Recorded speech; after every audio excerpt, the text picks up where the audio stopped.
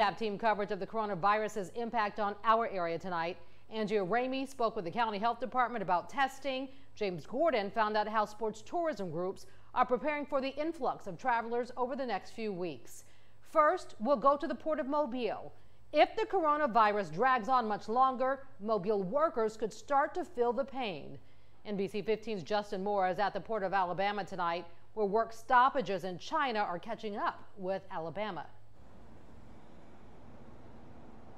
Well, Kim, the coronavirus is already impacting the inbound trade, but it could also hurt goods which are exported and made right here in Alabama and sent to other countries.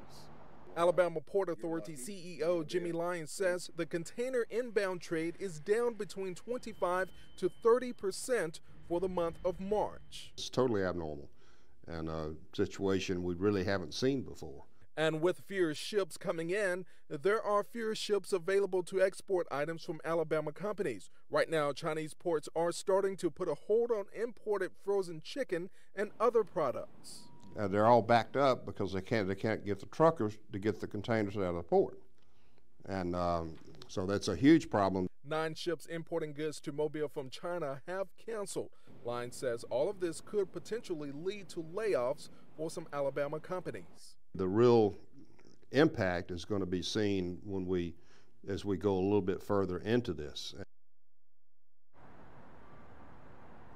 Now, Lyons says he's not sure when shipping should return back to normal, but he's hoping it's sooner than later. In downtown Mobile, Justin Moore, NBC 15 News.